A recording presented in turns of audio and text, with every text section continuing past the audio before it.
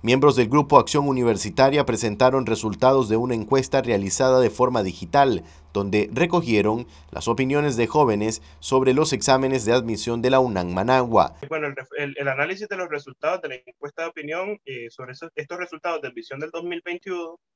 eh, fue lanzada de forma electrónica en, el 16 de febrero de 2021 este, por este movimiento estudiantil eh, acerca del proceso de admisión de la Universidad eh, Nacional Autónoma de Nicaragua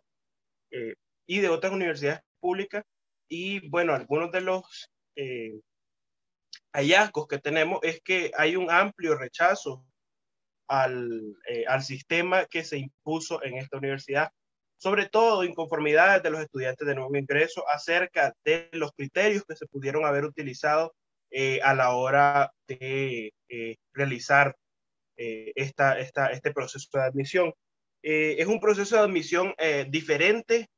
eh, fue un proceso de admisión un poco, pues, no, no, no como nosotros estábamos acostumbrados a un examen de admisión de aritmética y literatura, es una prueba de teoría pues, de aptitud, ¿verdad? Explican que una de las preocupaciones es que haya bajado la calidad de los exámenes de tal forma que el ingreso dependa de otros aspectos distintos a la capacidad formativa de los estudiantes.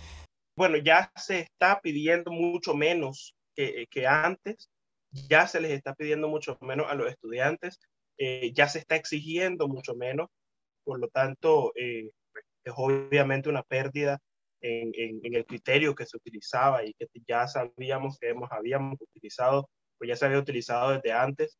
Eh, y, y, por lo tanto, pues ya no, eh, ya no, se, ya no bueno, podría representar eh, cierta pérdida en, en, en, la, en, la, en la calidad que podría haber tenido la educación universitaria pública en Nicaragua, que ya conocíamos en este caso. Em, sobre todo por la preparación que se llevaba para eh, lograr entrar a la universidad o lograr un cupo en la universidad eh, eh, en años anteriores, ¿verdad? muchísimas carreras pues han tenido que eliminar sus exámenes de admisión, lamentablemente sin ningún prerequisito. entonces, pues esto se presta a que no haya sido el mérito el que lleve a los estudiantes eh, a la universidad como tal.